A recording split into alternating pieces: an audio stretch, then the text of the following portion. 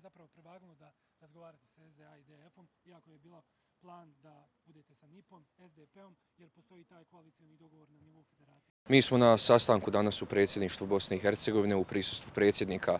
E, stranke demokratske akcije Narodnog Evropskog saveza i demokratske fronte potpisali sporazum o uspostavi vlasti u Unsko-Sanskom kantonu. Dio te vlasti će biti i stranka za Bosnu i Hercegovinu u Unsko-Sanskom kantonu, čiji će predstavnik svoj potpis na ovaj sporazum staviti naknad. Ovo je poruka stabilnosti Unsko-Sanskog e, kantona koji je već dugo vapi za jednom e, kvalitetnijom podrškom vladi u Skupštini kantona. Ovo je dvotrećinska većina u Skupštini koja će sigurno dati e, stabilnost i zamah u radu kako izvršne, tako i zakonodavne vlasti Unsko-Sanskog kantona nakon dugog niza godina koliko je krajina imala problem sa stabilnošću kada je u pitanju sama eh, i zakonodavna izvršna vlast, vidjeli ste kako je to bilo u proteklom mandatu kada je u pitanju rad zakonodavne vlasti Unsko-Sanskog kantona, posebno u onome ranijem periodu eh, koliko je bilo problema sa radom izvršne vlasti. Evo danas konačno jedan stabilan eh, koalicijni kapacitet koji može odgovoriti da krajina bude stabilna i da pošalje poruku cijeloj Bosni i Hercegovini da bude mirna.